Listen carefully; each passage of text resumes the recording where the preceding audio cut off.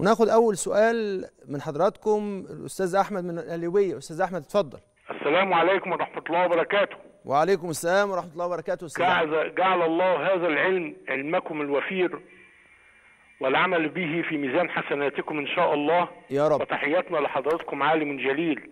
الله يرضى عنك يا. الشريف. اتفضل يا أستاذ وفريق العمل المخلص دائما في عمله والنشاط نشاط دؤوب. نعم. ولكم منا جزيل الشكر على إتاحة. مع حضراتكم أحمد عروج أرض الجنة غرب شبرا الخيمة أهلا وسهلا. اتفضل يا أستاذ. احمد حضرتك نحن نوفر مبلغ من المال آه، آه، في صورة ذهب يا تحت. حساب الحج إن شاء الله. ندعو الله عز وجل أن يكتبه لكل مشتاق إن شاء الله. نعم. فمر عليه الحول فهل نعم. عليه زكاة. طيب يا سيدي. آه سيد أحمد شكرا على معلش. التواصل وطيب الاستماع. طب خليك معايا يا أستاذ أحمد بس. أنت لما لما. لما وفرت المال ده المال ده وصل نصاب ولا لسه؟ لا ده تعدى النصاب مع حضرتك ما لو جه النصاب مش هيكفي آه، نفقات الحج. يبقى هو واصل للنصاب دلوقتي يعني أكتر من 85 جرام ده. من 85 بدليل إنه الحج هي بيتخطى هذا طب جت. لا أنت لسه ما جاتلكش التأشيرة. أنا على الله أنا مقدم بقى ودعواتنا جميعا مقدم في إن شاء الله ربنا يوفقك إن شاء الله. وربنا يكرم إن شاء الله. طيب أنا هجاوب على حضرتك يا أستاذ أحمد.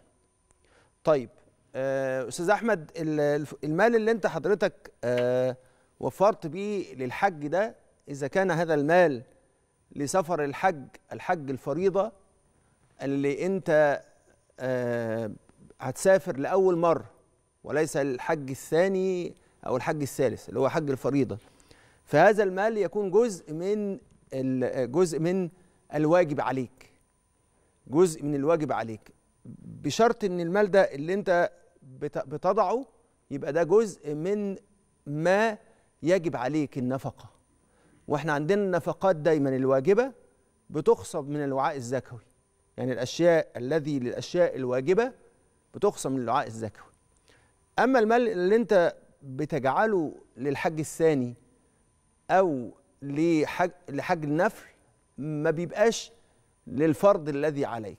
يبقى أنت كرجل ادخر مالا لكي يشتري به شيئا للطهارة.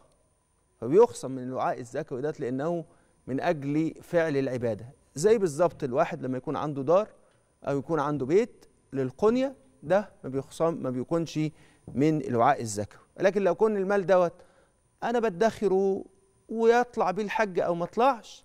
لا يعني لو اتيسر الحج أطلع. لو ما تيسرش الحج اهو أصرفه. لو ارتفع ثمن الذهب هبيعه.